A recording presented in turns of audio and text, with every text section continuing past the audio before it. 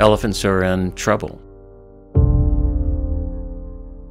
We lose about 100 elephants every day, some 30,000 elephants each year to poaching. There are still stores around the world that are selling ivory trinkets. We are looking at the extinction of a species uh, simply because we have the sense that it is a wonderful gift to give, or the social status that this elephant ivory piece will give you.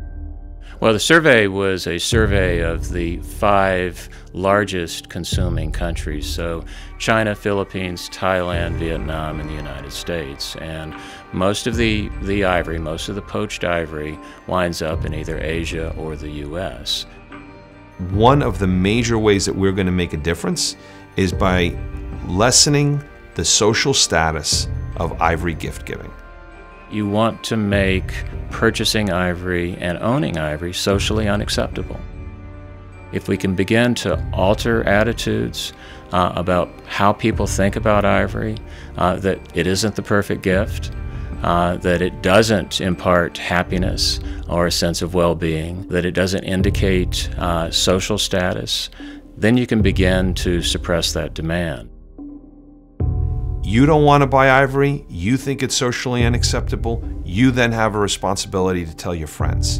That becomes your opportunity to educate people and explain to them why they should not buy ivory. If something doesn't happen quickly, we could be the generation that loses elephants.